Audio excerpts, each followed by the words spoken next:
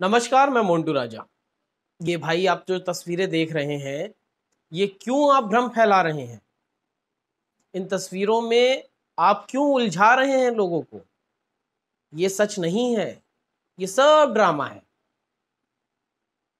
हो सकता है इस तरह की तस्वीरें सोशल मीडिया पे वायरल करने से आप देशद्रोही हो जाएँ, क्योंकि जो मुख्यमंत्री का कहना है, वो तो ये है कि किसी तरह की कोई भी जो अस्पतालों में गैस है, दवाइयाँ हैं, मेडिकल सुविधाएँ हैं, वो एकदम दुरुस्त है।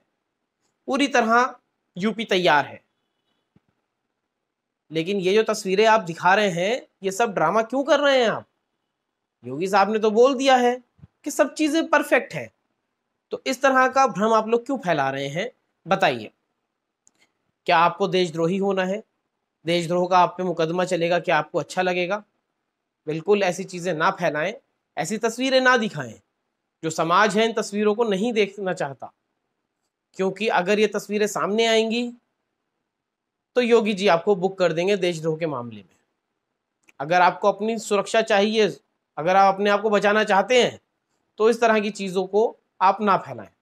क्योंकि सब कुछ उत्तर प्रदेश में परफेक्ट है। किसी तरह की कोई समस्या नहीं है।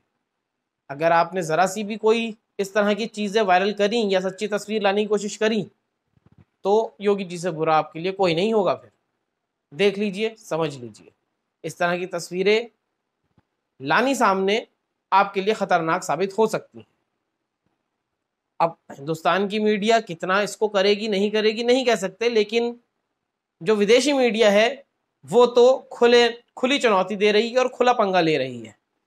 वो योगी साहब हो या मोदी साहब हो, उनको छापना है तो वो छाप रहे हैं द न्यूयॉर्क टाइम्स हो या द ऑस्ट्रेलियन हो, अब फ्रांस के भी एक बहुत बड़े अखबार ने बहुत कुछ हिंदुस्तान में जो हो रहा है, उसकी ज़िम्मेदारी नरेंद्र मोदी को देते हुए छाप दिया है।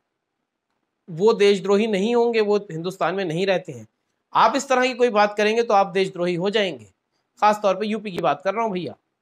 तो बचे रहो, इस तरह की तस्वीरें साझा ना करो, ना सोशल मीडिया पे फैलाओ। क्योंकि योगी साहब ने कह दिया है, सब सारे बंदोबस्त दुरुस्त है। आप क्या सोचते हैं? अपनी राय कमेंट द्वारा हमसे साझा कर सकते हैं। फिर मुलाकात होगी। नमस्कार।